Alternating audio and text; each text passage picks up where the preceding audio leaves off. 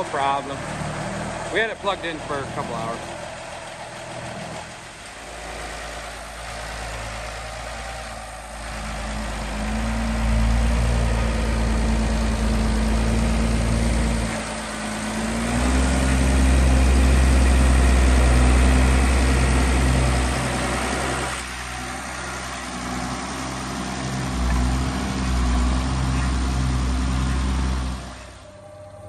All right, guys, it's March 12th, and we are uh, starting tillage for the first the first time of this year. Out here chisel plowing.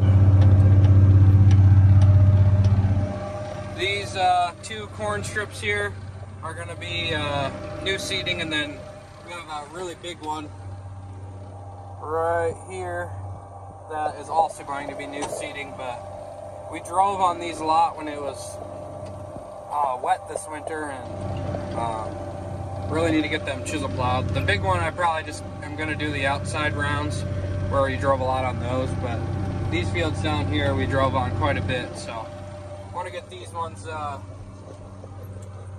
chisel plowed up first and then we'll disc. And it's supposed to rain Thursday, today's Tuesday. We were really hoping to get the new seeding in this week, but we'll see.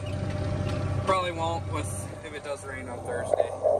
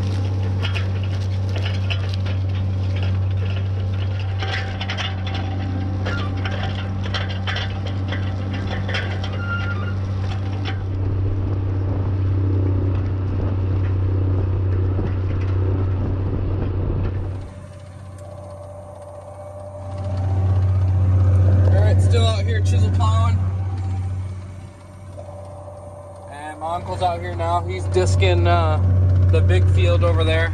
That's going to be the new seeding as well.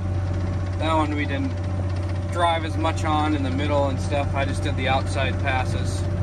So after that, we'll uh, go to another field, I guess, if we have some time. We'll see. See what time it is once we get done with this one.